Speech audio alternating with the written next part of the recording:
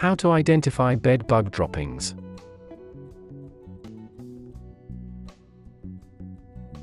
If you've woken up with itchy red bites all over your arms or legs, you might be looking at a bed bug infestation.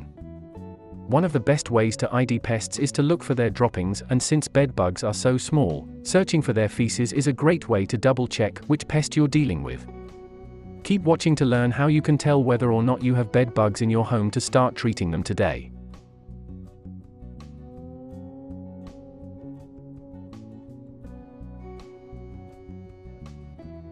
Welcome to theguardianschoice.com.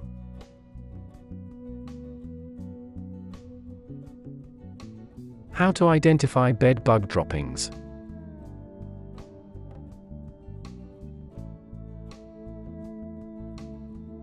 Number 1. Look for reddish brown, rust colored stains. Bed bug droppings are mostly digested blood. As you're checking for bed bug feces, it might look red, reddish brown, or muddy brown. Old feces will generally look darker, while new feces could be bright red. Bed bug feces is the consistency of soft mud. If you're having trouble seeing the color of the feces, try doing the smear test. Take a baby wipe or an alcohol swab and gently wipe the feces up.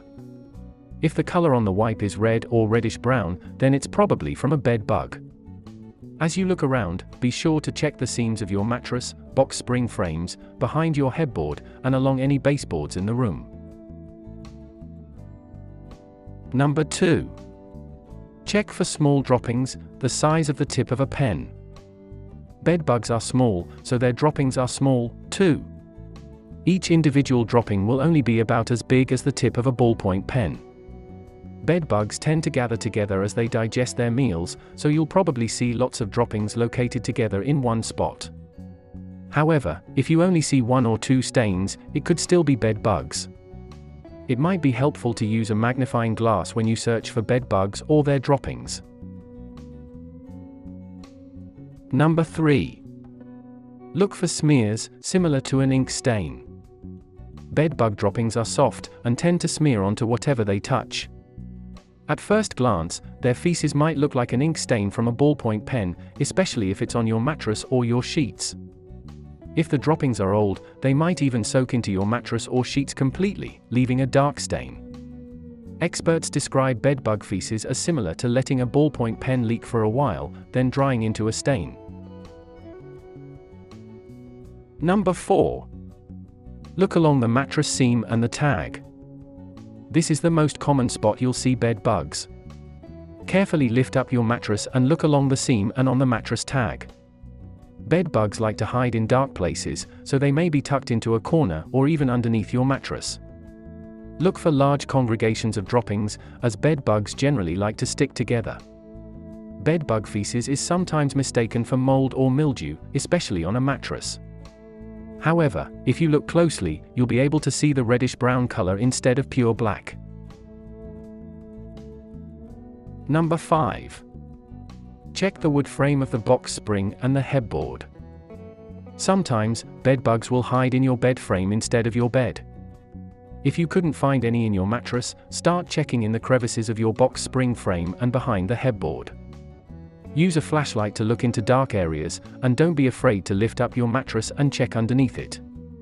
If you are squeamish about touching bed bugs or their feces, wear gloves as you search. Number 6.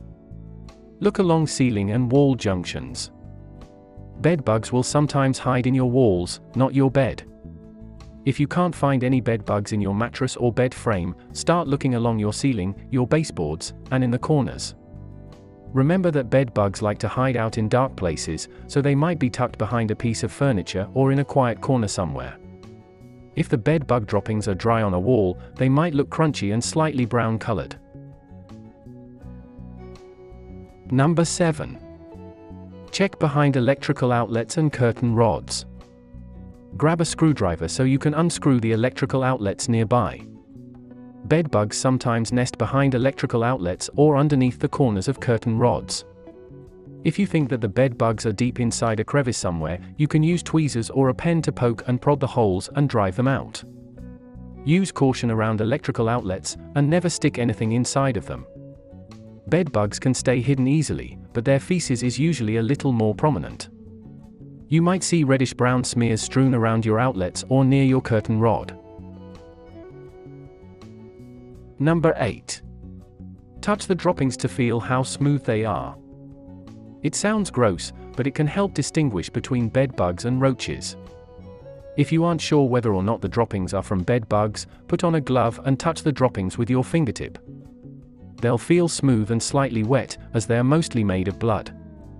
Other droppings, like from cockroaches, will be hard to the touch, since they aren't made of blood. Number 9. Smell the droppings to see if they smell like rust. Bedbug droppings are mostly blood, which can create a smell. If there are a lot of bedbug droppings in one area, you might be able to smell a rusty, blood-like odor. However, experts warn that you shouldn't base your identification off of smell alone since only large infestations create enough feces to generate a smell. Number 10. Look for shed skin and dead bugs around the feces. You can sometimes find a lot of bed bugs surrounding their droppings. If you stumble upon a large congregation of feces, you can be sure that it's from bed bugs if you find dead bed bugs or small, rolled up pieces of shed skin. You probably won't be able to see their eggs, because they're pretty small. Bed bugs have small, flat, oval-shaped bodies. They don't have any wings, and they are usually reddish-brown in color. Bed bug eggs are usually around the size of a pinhead. Number 11. Avoid checking pets or pet bedding. If you see dark black droppings on your pet, they probably have fleas. Fleas and bed bugs often get mixed up, so it's important to double check before starting treatment. Fleas also poop mostly blood and can drop reddish-brown feces on your pets or their bedding. However, bed bugs usually don't congregate near animals, and their droppings are slightly bigger than flea droppings are.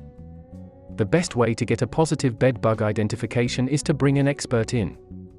If you do have a flea infestation, start treating the source by giving flea medicine to your pets. You can also wash their bedding with hot water to kill any fleas or eggs that might be living there. Number 12. Kill bed bugs with heat or steam. If you're positive that you have bed bugs, start treating them right away.